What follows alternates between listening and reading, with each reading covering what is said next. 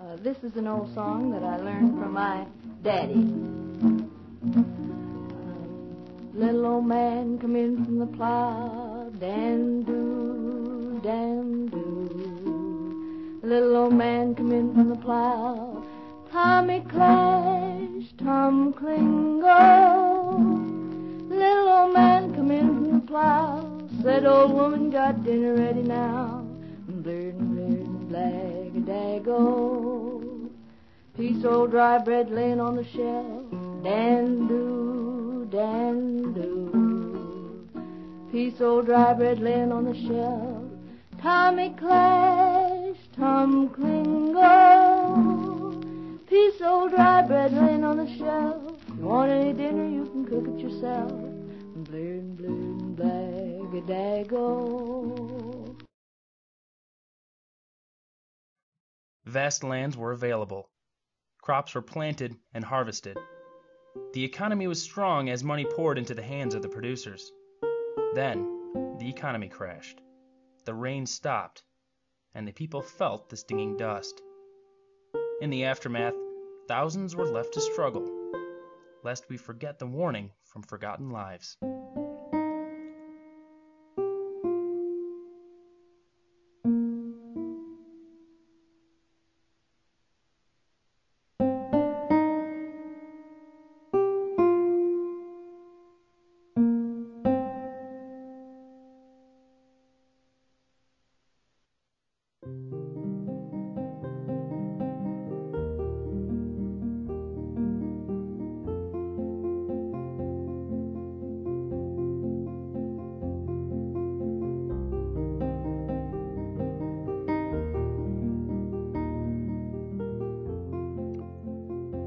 The dust settled across the plains, inhabitants began to assess the damage. For as far as the eye could see, it was a scene from science fiction. Desolate and silent, colorless and gritty. Questions of the future would be on the minds of nature's victims. Or were they humanity's victims? The Dust Bowl of the 1930s was an extraordinary period in environmental and human history. It was a benchmark between human complacency and changes that would protect the landscape from further degradation. Thomas Jefferson, then President of the United States, commissioned Lewis and Clark to explore the foreign land west of the Mississippi River. Along the way, they recorded their observations of the land, vegetation, and wildlife. The purpose was to assess the recent purchase from France and determine the possibility of expansion. As Lewis and Clark headed west, they would see a decrease in the amount of forest cover and an increase in the amount of tall grass prairie as they went from eastern Indiana into western Indiana. Uh, this tall grass prairie really uh, climaxed in central Illinois with grasses in height of 5 to as high as 10 feet. As Lewis and Clark headed west, though, the grassland height in general decreased. So in central Illinois, the grasses again 5 to 10 feet high. Once you got into eastern Nebraska, eastern Dakotas, grassland height was down to about 3 to as high as 5 feet. And then finally, once you got into the western high plains, you encountered the short grass prairie. And at that point, the grasses went down to maybe a foot to as high as maybe 3 or 4 feet in height. Through word of mouth of a vast land hopeful of prosperity, farmers from the east would push the frontier westward to reap the benefits of the land west of the Mississippi River. Once gold was found in the far west, opportunists began to make their own journey to increase their personal wealth. A chance to leave the horrors of debt and the drudgery of their lower class status. By the outbreak of the Civil War, railroad lines crisscrossed the landscape to provide food and supplies to the west and return nature's shining economic security to the east. Towns dotted the landscape between the east and the west, where farmers took advantage of the vast land. Land that would provide wonderful economic opportunities, unlike the conditions they left in the east. Farming in the east was difficult. Land was small, congested with old trees and rocky slopes. The amount of crops harvested would provide only a small profit after what was necessary to feed their family. Farmers dreamed of a land that was free from stumps that needed to be burned and boulders that had to be laboriously relocated. The Great Plains was the answer land where the horizon was void of branches of hardwood matting the soil with never ending roots. It was a land of opportunity like no other with rolling hills of tall and short grasses, green, lush, fertile, and undisturbed by human influence. Prior to settlement of the Great Plains, it was a massive, vast grassland that ran from southern and central Texas all the way up into southern Canada, Manitoba, uh, Alberta, and this massive uh, area of Great Plains was one of the largest gr- largest grassland complexes in the world. It can only be compared to the steppes of parts of far eastern Europe and Russia, as well as the Asia Minor area and the pampas areas of South America, which includes Paraguay and Uruguay. But by far, the I really firmly believe that the largest expanse of grassland in the world, believe it or not, is right here in North America. Virgin land would soon be violated. It was a divine doctrine that the civilized would be given the opportunities provided by nature. Year by year, the farmers who lived on soil whose returns were diminished by unrotated crops were offered the virgin soil of the frontier at nominal prices. Their growing families depended more on lands, and these were dear. The competition of the unexhausted, cheap, and easily tilled prairie lands compelled the farmer either to go west and continue the exhaustion of the soil on a new frontier, or to adopt intensive culture. Thus, the demand for land and the love of wilderness freedom drew the frontier ever onward. What was not considered in the equation thus far was the character of the land that was held secret for tens of thousands of years. Farmers of the East were aware of the climate pattern of their original land. Rains were common along the colonial East. If the rains stopped, farmers simply did what previous generations did to save their dwindling crops till the soil to bring moisture laden soil to the top without the fear of it drying before the next rain. In the new landscape, farmers practiced what they knew would work during dry periods. But the rain seldom came in time. Tilling deeper to bring the much needed moisture to the roots of their crops, the result was devastating. Their method from the east failed.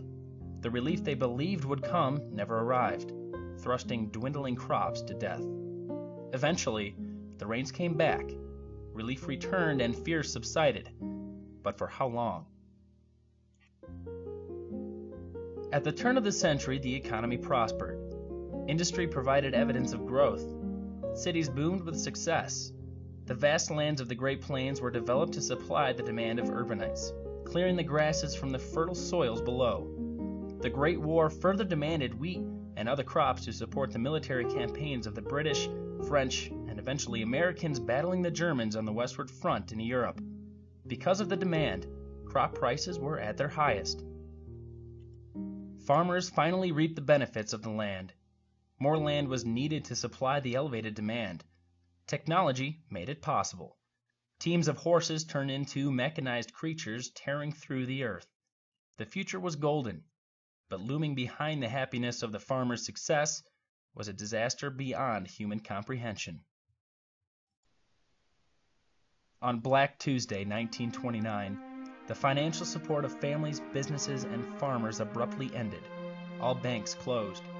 The foundation that had allowed farmers to obtain credit in the past tumbled, leaving nothing for the future. In the financial aftermath, the rains began to diminish across the plains, doubling the hardship for all concerned. Days turned to months, months turned to years, and the harsh sun baked the land. Farmers did their best to provide moisture for their wilting crops by tilling deeper. By the time they finished tilling a field, the sun had completely finished off the remaining moisture. Each time a machine turned the soil to increase moisture, the soil lost an important physical character. Good soil holds together as a clod. A clod has small holes and bubbles that allows water to collect and remain in the soil longer. As tractors and teams of horses drive across the soil, it becomes compacted. Unlike moist soil, dry soil crushes into a fine powder, unable to absorb moisture when it does rain. The result is runoff. To compound problems, Not only are the Great Plains known for the vast grasslands, they are well known for persistent gusty winds. The powdered soil, light and gritty, eroded away, creating clouds of dust. There was nothing to hold it down. Treeless fields made it easy for the winds to sweep across the landscape unrestricted. April 14, 1935. A day in American environmental history known as Black Sunday. Over the horizon, an ominous cloud of doom sent shivers of fear through the spines of the inhabitants of western Kansas. Many were unsure what was coming for them. Many believed it was the end of the earth. It was similar to a north storm that many had witnessed for years, but this one was different. In the north and thought it was a blue norther coming. Such a huge black cloud, just looked like smoke out of a train stack or something. I just come rolling over, and when it got near to the house, we was all afraid, and we ran into the storm house because we thought it was a storm and uh, we lit the lamp, and it was just so dark in there that we couldn't see one another. We just had, uh, even with the lamp lit, and we just choked and smothered. And my husband was out after the cows, and he stumbled up against the barbed wire fence, and he followed the fence till he come to the house. Is the way he was able to get to the house. And uh, we had to tie wet rags over our mouth, and just to keep from smothering. We dipped cloths in buckets of water and tied over our mouth down the cellar. And that one lasted so fierce for about two hours. And then we took courage and seen we wasn't going to blow away, and we went in the house. And we wet blankets and hung over the windows. And uh, then after the first one, of course, we was scared awfully bad. And the old timers said they'd never seen nothing like that. It seemed so fine. I can tell you the story about the dust storm I experienced was about uh, 1933, I believe it was. It was in the early, in the late summer, I believe it was.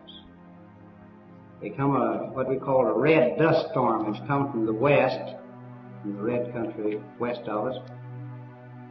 And just done lots of damage to small buildings, blowed them completely away, and tore the, the roofs off of the larger buildings. Some of them blowed the windows out of the houses turned cars over and things like that. A straight wind, no twister to it. And the dust was so thick that you could see nothing at all. I just absolutely couldn't see through it at all. Just dark as it could possibly be. And it was that way for about 14 hours. It blowed steady that way. It seemed like there no let up at all. It was strong as it could be. You couldn't walk in it. When major drought hit the plains in the 30s, uh, you already had the vegetation removed by cultivation.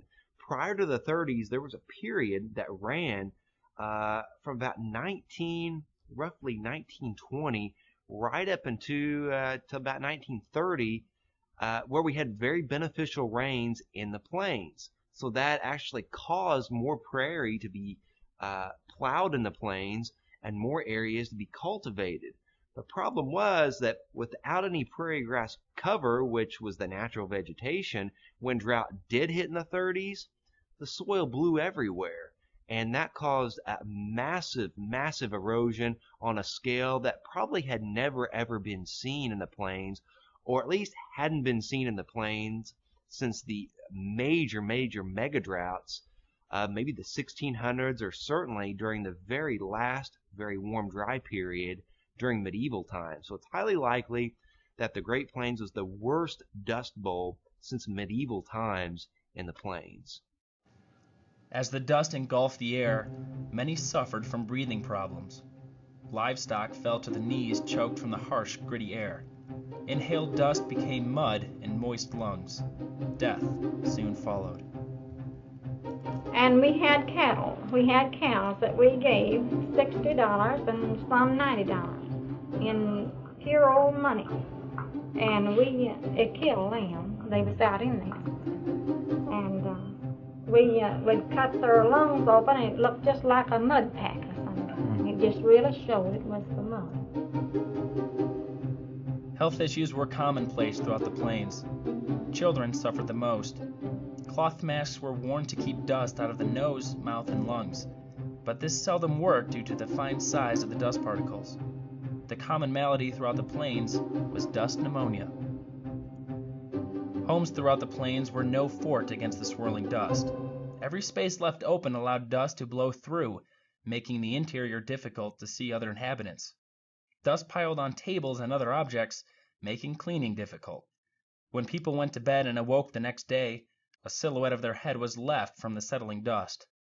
No matter how much families tried, the dust became a way of life. Our house was sealed, but that dust come through somehow. Even those stucco houses, by all around the doors and the windows, the dust would be all piled so high, and you just had to mop real good when it was over to get it out. You just couldn't get it out no other way. The scene repeated week after week, month after month. Confusion and despair were commonplace. During this period, the man provided for his family. The success of his crop brought food to the table, but the destruction left in the wake of drifts of dust made farmers believe they had let their families down. How will we continue? Where are the rains?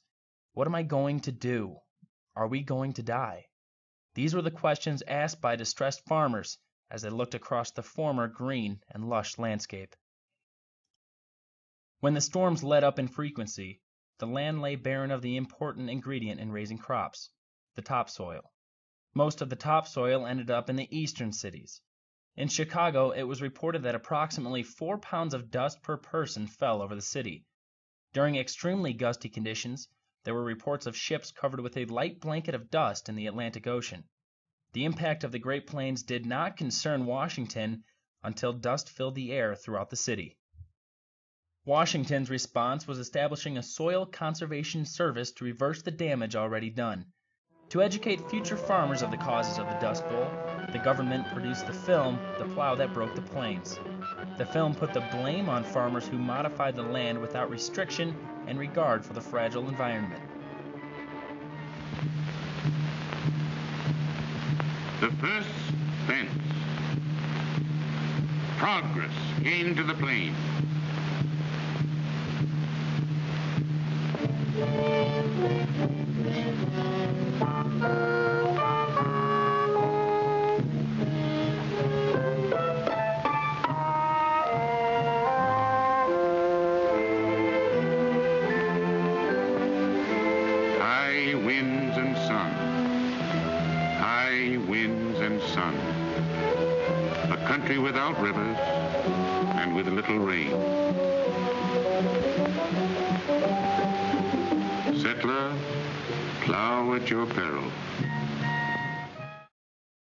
For some, relief was too late.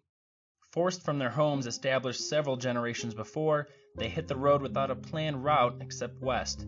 Everything they owned was packed in one vehicle mattresses, chairs, blankets, pots and pans, clothes, shoes, and personal objects to remember the happy days of long ago were piled high.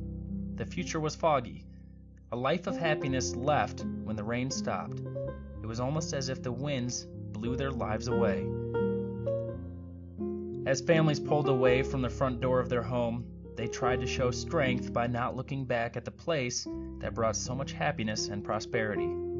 A place that they believed would always be a firmament for future generations. But it was a scarce, lifeless place. The hardiest of humans would not be allowed to prevail over the land.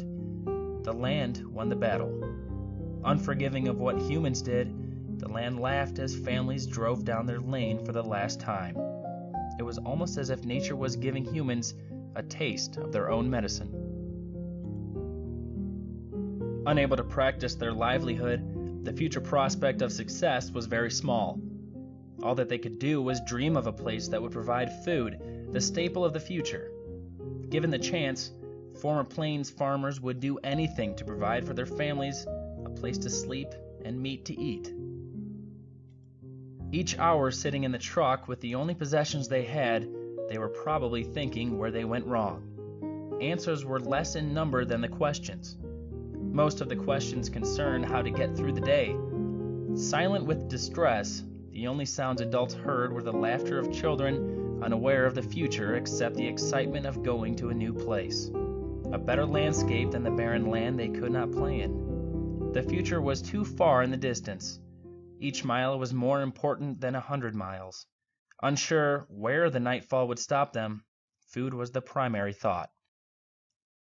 As they migrated from the plains, they were strangers among thousands of strangers doing the same thing, finding the promised land where jobs and food were plentiful. The possible opportunities not sought by the individual, but by the masses. By the time a secure job was within reach, it was taken by another struggling family or the crop was devastated by starving wildlife. A story of such a situation was recorded by Imogene Chapin as she and her family moved from camp to camp only to arrive in California with seven cents to her name.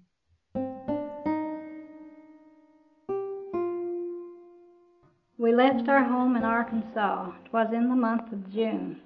To find a job away out west, of course we'd find one soon. We headed for Missouri, the old show me state. But jobs were scarce, they all told us, you're just a little late. then on to Kansas we did go, the state that grows the wheat. In harvest we would work a while, we'd have good things to eat.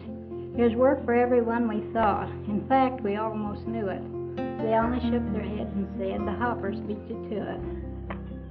We would not let our spirits sink, we'd find work on the farm. I've heard it said most all my life, the third time is the charm. We'd go to Colorado, where all the lettuce grows. We had to cross the Rockies, we almost froze our nose. We thought we'd stop and ask for work, and find a place to stay. A sandstorm beat us to that job and blew it all away. They told us then of Utah, some work we'd surely find. The cherry trees were ripe with fruit, the people all were kind. so once again we headed, our flivver down the hill. There was no doubt we really knew our pocketbooks would fill. But like the other places, a freeze just struck there. And there was no job for us at all, the cherry trees were bare. No work in Arizona or Nevada, so they say. So on to California, we started on our way. They said in California that money grew on trees, that everyone was going there just like a swarm of bees. We landed here one summer day. How hot, I can't quite tell. I'll leave the rest to you to guess. I know you can quite well. The goat heads punctured our old shoes. The sun had baked our brain. We stayed out here about three months before we saw rain. The ants, they bite, the flies, they buzz. Mosquitoes call you cousin. And when you try to take a nap, they bite you by the dozen. We drink our coffee from tin cans, eat sardines by the peck. If I could catch that fisherman, I'd break his gosh darn neck. We eat soup beans three times a day. We sleep on the floor. I guess you're tired of reading this, or I would write some more. I guess you wonder who wrote this. I know you think I'm crazy. You do not miss it very much. My brain is rather hazy. I tried so hard to find the trees on which the money grows. I walked through this hot sand so much it's blistered my poor toes. Perhaps the money has all fell off, or just a little late. The one who wrote this crazy thing lives in cabin 228.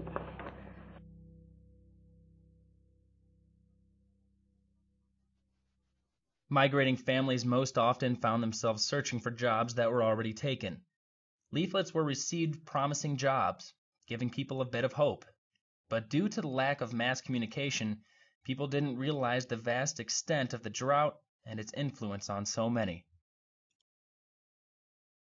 In 1939, the rains returned, ending the greatest drought in North American history. Out of the chaos of the last decade, only a handful survived the Dust Bowl. But it were those people that migrated westward that truly survived the ridicule, the hard times, the starvation, the stress of finding a job, wondering when the next meal would come. The forgotten thousands were the storytellers for the future. Would the lessons they left in the fields of dust be forgotten? All citizens of the United States suffered, not just the farmers. What made this event so significant was twofold humanity's desire for wealth amplified by nature's natural fluctuation. In the final analysis, thousands would provide future generations with the answer to success and prosperity. Understand the limits posed by the natural environment. Never take nature for granted, for it's as fragile as the most delicate flower. The benefit of nature does not come from overusing it. Balance the use and the profit of the future will tenfold providing future generations with prosperity. Our children's children will be successful only if our motive is to protect the future of the natural environment. Each disaster we witness in the future will be a reflection of what our ancestors experienced. What we do today will influence the future. Understanding the past is the key to the future. Remaining complacent brings only destruction for future inhabitants of our earth. The lives that experienced the devastation have willed us an important lesson. Nature is uncontrollable for human purposes. Understand it and relish in its splendor.